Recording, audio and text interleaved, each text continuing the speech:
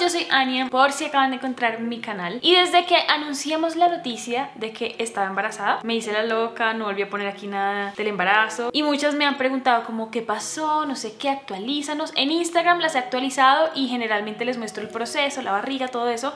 Pero se me ocurrió hacer este video donde les quiero compartir qué cosas han cambiado en mi rutina en general Desde que quedé embarazada, como ejercito, qué es lo que hago, qué cremas dejé de usar, qué cosas no puedo hacer, qué cosas puedo hacer absolutamente todo. De pronto por allá hay alguna mamá o alguna mamá futura que le interese este video o sencillamente a cualquiera le puede interesar. Entonces espero que les guste este video como un poquito más personal de lo que estoy viviendo en estos momentos. Y sin hablar tanto empecemos lo primero y más importante que cambió drásticamente fue el ejercicio Digamos que yo antes seguía varias rutinas que veía en YouTube o bajaba programas que me parecían interesantes y seguía todo un cronograma, pero desde que quedé embarazada yo no sabía qué ejercicios hacer, no sabía si podía hacer un abdominal, si me podía agachar así, si podía correr.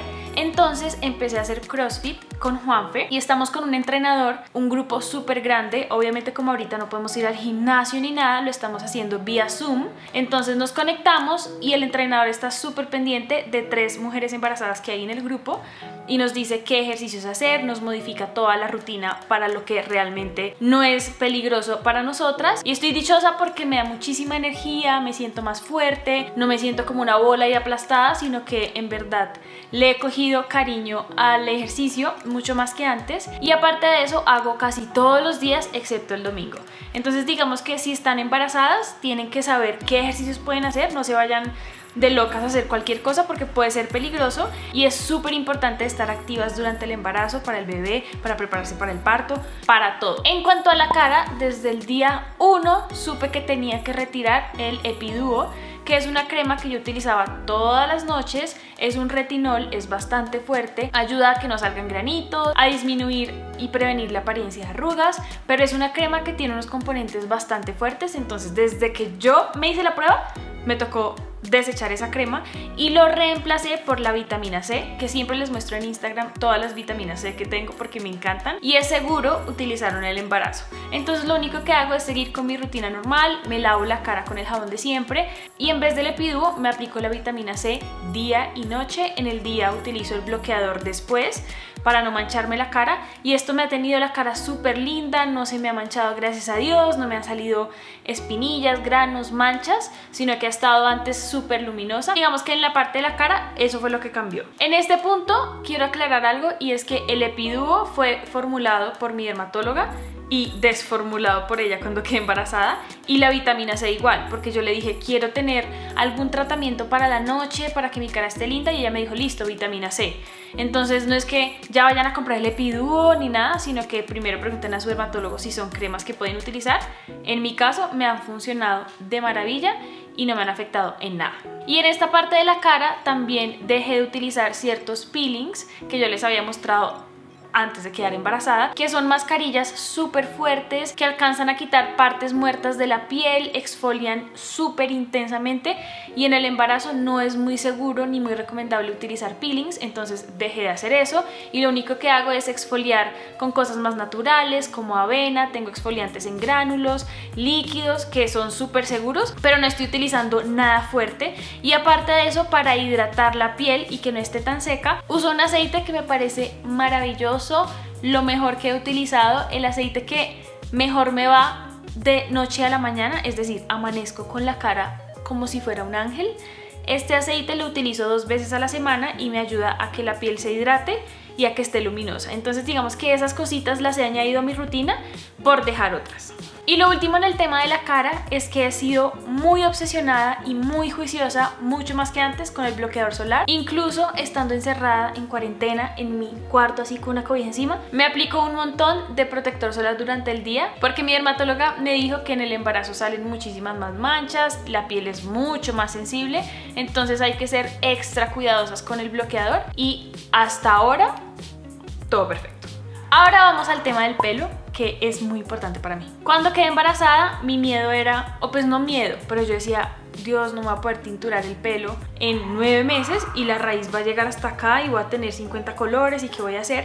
Pero cuando fui dando el doctor, él me dijo, sí lo puedes hacer, es seguro solo con tintes que no tengan amoníaco y lo más seguro que casi todos recomiendan es después de los tres meses porque digamos que ya el bebé está un poco más grande, está un poco más formado. De igual manera nunca lo hice antes de los tres meses, siempre utilicé tintes sin amoníaco que es más que todo como un enjuague porque no tiene tanto químico, no tiene olor, no es fuerte, no rasca, es algo muchísimo más natural que el tinte que yo estaba utilizando antes. Entonces lo he hecho un par de veces y tengo de pronto la raíz muy fuerte suerte y digamos que en el pelo eso ha sido el cambio más drástico porque hace varios años me pinto el pelo. Y para tenerlo muchísimo más hidratado, más lindo, lo que hago es que dos veces a la semana estoy aplicando un tratamiento que descubrí hace poquito que se deja toda la noche desde la raíz hasta las puntas, aparte del aceite de coco y de todas esas cosas que yo siempre les digo. Este es un tratamiento que descubrí y me enloquece porque me deja el pelo súper suave por muchos días. Entonces esas dos cosas las he hecho en mi pelo y no me ha caído, antes siento que está un poquito más grueso. Dicen que cuando uno tiene el bebé se le cae mucho el pelo, ya lo sé, entonces solo les estoy compartiendo lo que estoy haciendo ahorita. Ya más adelante les haré un video de cómo me vaya después. Pero estas dos cosas me han funcionado de maravilla y me han mantenido el pelo lindo, saludable y bonito. Ahora la parte de la panza. Casi todas las preguntas en Instagram son ¿Cómo haces para que no te salgan estrías? ¿Ya te salieron estrías? ¿Cuándo te salió la primera? Esa es la pregunta que más me hacen y digamos que yo siento que eso también es algo muy genético entonces yo no puedo decir esta crema nunca te va a sacar estrías, cómprala, porque puede que te la recomiende y al otro día te salga una. Entonces ese tema va más ligado al tipo de piel que tengamos, si es elástica y no salen estrías, si tienes la piel muy fuerte, eso es como una lotería. En este momento no tengo ni una estría, pero sí intento cuidarme todos los días y todas las noches con cremas que me han recomendado. Entonces uso varias cosas. En todo el cuerpo aplico aceite y mantequillas que es como una fusión de aceites. Y quedó súper luminosa, hidratada, mejor dicho, parezco una muñeca de cera todo el día. Y en la panza específicamente, en la parte de acá arriba, de la espalda, de la cola, utilizo una crema especial antiestrías que me la recomendó a mi dermatóloga nuevamente.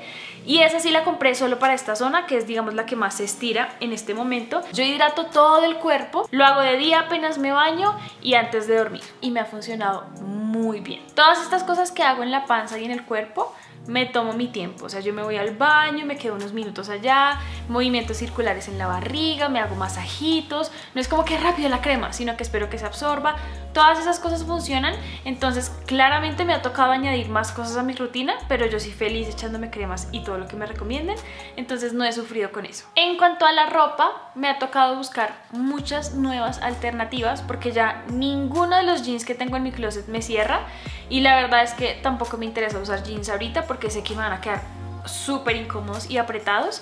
Entonces he optado por buscar en páginas en Instagram ropa suelta y he encontrado unas joyas maravillosas. Entonces solo utilizo vestidos, pantalones sueltos, blusones como estos largos eh, overoles, todo ese tipo de ropa que no me moleste, que no me incomode, que no me talle, que si me quiero acostar a dormir en la mitad del día pueda hacerlo y no esté incómoda eso para mí ha sido lo máximo. Les voy a recomendar de pronto algunas cuentas que haya encontrado que me hayan parecido chéveres. Y esto lo he hecho toda la cuarentena. Todos los días he tenido una pinta súper cómoda y estoy feliz y chosa y no me cambio por nadie. Y encontrando este tipo de prendas cool, me siento también chévere, no estoy todo el día en pijama, sin arreglarme, sino que lo ayudan a uno a sentirse como mejor y que uno está embarazado, no le queda la ropa, pero igual hay muchas otras opciones que usar. Entonces me ha parecido chévere descubrir ropa suelta en todo lado. Hay tres aplicaciones que utilizo más que Instagram, yo creo. Todos los días me meto a mirar, a leer, a investigar, a informarme de todo lo relacionado con el embarazo. Me recomendaron tres las había visto en blogs, personas que me las recomendaron, incluso el ginecólogo me la recomendó también. Hay una que se llama Baby Center, la otra se llama Obvia Pregnancy y la otra se llama Pregnancy Plus. Pero las que más utilizo son las dos primeras. Entonces ahí siempre dicen como el tamaño de tu bebé hoy es de una piña. Tu cuerpo va a tener estos síntomas esta semana. Esta semana vas a descubrir tal cosa. El bebé está formando, o sea, te dicen absolutamente todo. Me parece súper completo. Hay blogs, hay artículos. Así que si van a ser mamás, más y no saben qué aplicaciones les van a funcionar o cuáles son buenas, para mí esas dos son las mejores, me han ayudado un montón, me han sacado de mil dudas y digamos que ha sido chévere poder aprender al paso de las semanas y de los días todo lo que pasa con el bebé. Entonces estas aplicaciones, check, incluidas en mi nueva rutina. Y ya para terminar el video, algo que también me tocó añadir a mi rutina de noche, de dormir, fue una almohada o un rollo gigante porque yo siempre he dormido boca abajo, ya la barriga no me deja dormir boca abajo, entonces me toca montar la pierna encima de algo, claramente Juanfe no se deja montar la pierna encima y pues tampoco voy a hacerlo, entonces conseguí un rollo que es como de mi tamaño y lo que hago es ponerlo al lado, subo la pierna y duermo como un bebé, después hacia el otro lado hago lo mismo. Y esto me ha parecido maravilloso porque puedo descansar mejor, antes era un poco incómodo con la barriga, como que no sabía cómo acomodarme como que uno lucha. Y también tengo otra almohada que no es un rollo sino tiene tres partes. Y en esta sí quedó como encajada y esta la utilizo para las siestas porque si la pongo en la cama de noche, Juanfe no cabría en la cama. Entonces el rollito lo uso para dormir en la noche y la otra que es más grande y es súper cómoda también, la utilizo para alguna siesta en el día o algo así. Y son súper cómodas, buenísimas para descansar y no he sufrido con el tema del sueño hasta ahora, entonces es una muy buena opción, la tienen que tener. Y listo, eso fue todo por el video de hoy, no sé si a muchas les interese este tema, pero hay otras que quieren saber más del embarazo, entonces quise incluir este video en los episodios del tema del bebé, por si alguna quiere saberlo. Espero que les haya servido toda la información de las cosas que utilizo en la parte de abajo. Y en Instagram todos los días estoy como actualizándolas, entonces si me quieren seguir por allá, les voy a poner acá mi usuario. Ahí les pongo cómo, cómo va creciendo la panza, me tomo fotos de la barriga y todo eso por si quieren ir a chismosear. Y espero que les haya gustado este video, fue como más para compartir con ustedes mi etapa y nos vemos en el próximo video.